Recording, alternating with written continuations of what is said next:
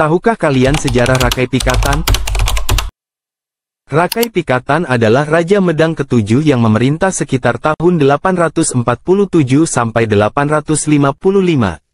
Dalam Prastiwanua Tengah 3, 908, ia memerintah antara tanggal 6 Maret tahun 847 sampai dengan tanggal 27 April tahun 855. Ia adalah raja setelah Rakai Garung dan sebelum Rakai Kayuwangi. Namanya dikenal dalam prasasti Wantil, Prasasti Mantiasih, dan Prasasti Wanua Tengah Tiga. Pada Prasasti Munduan tahun 807 diketahui Empu Manuku menjabat sebagai Rakai Patapan. Kemudian pada Prasasti Kayumuwungan tahun 824 jabatan Rakai Patapan dipegang oleh Empu Palar. Mungkin saat itu Empu Manuku sudah pindah jabatan menjadi Rakai di daerah lain. Selanjutnya menurut Prasasti Gondosuli, Empu Palar telah meninggal sebelum tahun 832. Kiranya daerah Patapan kembali menjadi tanggung jawab Empu Manuku, pada prasasti tulang air I bertahun 850, Empu Manuku bergelar Rakai Patapan. Menurut prasasti Argapura tahun 863 termuat nama Rakai Pikatan bernama Pumanuko, U.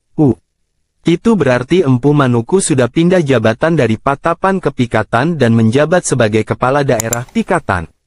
Dalam prasasti Wanua Tengah Tiga yang diterbitkan oleh Raja Diah Bali, disebutkan nama aslinya Rakai Pikatan Diah Saladu.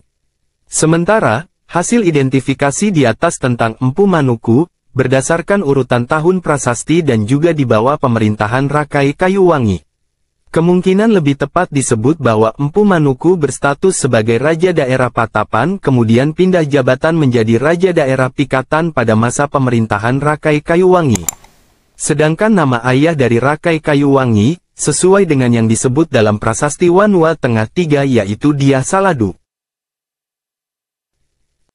Menurut prasasti Wantil, Rakai Pikatan membangun ibu kota baru di desa Mamrati sehingga ia pun dijuluki sebagai Rakai Mamrati. Istana baru itu bernama Mamratipura, sebagai pengganti ibu kota yang lama, yaitu Mataram. Prasasti Wantil juga menyebutkan bahwa Rakai Mamrati turun tahta dan menjadi Brahmana bergelar Rakai Mamrati Sang Jatiningrat pada tahun 856. Prasasti Wantil juga menyinggung pernikahan Sang Jatiningrat alias Rakai Pikatan dengan seorang putri beragama lain. Para sejarawan sepakat bahwa putri itu ialah Pramudawardani dari Wangsa Sailendra yang beragama Buddha Mahayana, sementara Rakai Pikatan sendiri memeluk agama Hindu Siwa. Pramudawardani adalah putri Samaratungga yang namanya tercatat dalam prasasti Kayu Muhungan tahun 824. Pramudawardani bukanlah satu-satunya istri Rakai Pikatan. Berdasarkan prasasti telah diketahui istri Rakai Pikatan yang lain bernama Rakai Watan Empu Tamer. Kiranya saat itu gelar empu belum identik dengan kaum laki-laki. Selir bernama Rakai Watan Empu Tamer ini merupakan nenek dari istri Diah Balitung, yaitu raja yang mengeluarkan prasasti Mantiasih, 907. Balaputra Dewa Putra Samaragrawira adalah raja kerajaan Sriwijaya. Teori populer yang dirintis oleh sejarawan Krom menyebutkan bahwa, Samaragrawira identik dengan Samaratungga sehingga secara otomatis, Balaputra Dewa adalah saudara Pramudawardani. Dalam prasasti Wantil disebutkan bahwa Sang Jatiningrat alias Rakai Pikatan berperang melawan musuh yang membangun pertahanan berupa timbunan batu di atas bukit.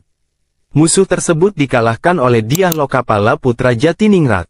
Dalam prasasti itu terdapat istilah Walaputra, yang ditafsirkan sebagai Balaputra Dewa. Akibatnya, muncul teori bahwa telah terjadi perang saudara memperebutkan tahta sepeninggal Samaratungga yang Selamat Muljana menolak anggapan bahwa Samaragrawira identik dengan Samaratungga karena menurut prasasti kayu Muwungan, Samaratungga hanya memiliki seorang anak bernama Pramudawardani. Menurutnya, Samaragrawira lebih tepat disebut sebagai ayah dari Samaratungga. Dengan demikian, Balaputra Dewa merupakan paman dari Pramudawardani. Menurut sejarawan Bucari, di Bukit Ratu Baka tidak dijumpai prasasti atas nama Balaputra Dewa, melainkan atas nama Rakai Walaing Empu Kumbahayoni. Mungkin tokoh ini yang memberontak terhadap pemerintahan Rakai Pikatan karena ia juga mengaku sebagai keturunan asli pendiri kerajaan, yaitu Sanjaya. Sementara itu istilah wala putra dalam prasasti Wantil bermakna putra bungsu. Jadi, istilah ini bukan nama lain dari bala putra dewa, melainkan juga untuk dia Lokapala, yaitu pahlawan yang berhasil mengalahkan Rakai Walaing, musuh ayahnya. Dengan demikian, teori populer bahwa telah terjadi perang saudara antara Rakai Pikatan melawan iparnya, yaitu Bala Putra Dewa mungkin keliru. Kiranya Bala Putra Dewa meninggalkan Pulau Jawa bukan karena kalah perang, tetapi karena sejak awal ia memang sudah tidak memiliki hak atas tahta kerajaan Medang, mengingat ia bukan putra Samaratungga melainkan adiknya. Wangsa Sailendra di bawah pimpinan Daranindra berhasil menaklukkan kerajaan Sriwijaya, bahkan sampai Kamboja. Sepeninggal Daranindra, kekuasaannya diwarisi oleh Samaragrawira. Mungkin ia tidak sekuat ayahnya karena menurut prasasti Pongar, Kamboja berhasil merdeka dari penjajahan Jawa pada tahun 802. Atas dasar tersebut, sepeninggal Samaragrawira mungkin kekuasaan Wangsa Sailendra dibagi menjadi dua, dengan tujuan agar pengawasannya bisa lebih mudah. Kekuasaan atas Pulau Jawa diberikan kepada Samaratungga, sedangkan kekuasaan atas Pulau Sumatera diberikan kepada Balaputra Dewa. Prasasti Wantil disebut juga Prasasti Siwagra yang dikeluarkan pada tanggal 12 November tahun 856. Prasasti ini selain menyebut pendirian Istana Mamratipura, juga menyebut tentang pendirian bangunan suci Siwagra, yang diterjemahkan sebagai Candi Siwa.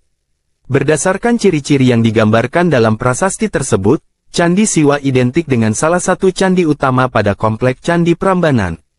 Dengan demikian, bangunan utama pada komplek tersebut dibangun oleh Rakai Pikatan, Sedangkan candi-candi kecil lainnya mungkin dibangun pada masa Raja-Raja selanjutnya juga menyebutkan bahwa Rakai Pikatan alias Rakai Mamrati turun tahta menjadi Brahman bergelar Sang Jati Ningrat pada tahun 856. Tahta kerajaan Medang kemudian dipegang oleh putra bungsunya, yaitu Dia Lokapala alias Rakai Kayu Wangi. Penunjukan putra bungsu sebagai maharaja ini kiranya berdasarkan atas jasa mengalahkan Rakai Walaing Empu Kumbahayoni sang pemberontak. Hal ini menyebabkan ketidakpuasan karena kelak muncul prasasti Munggu Antan atas nama Maharaja Rakai Gurun Wangi. Nama ini tidak terdapat dalam daftar Raja Prasasti Mantiyasi, sehingga dapat diperkirakan pada akhir pemerintahan Rakai Kayuwangi telah terjadi perpecahan kerajaan. Nama Rakai Gurunwangi Dia Saladu dan Dia Ranu ditemukan dalam prasasti Plaosan setelah Rakai Pikatan. Mungkin mereka adalah anak Rakai Pikatan. Atau mungkin juga hubungan antara Dia Ranu dan Dia Saladu adalah suami istri.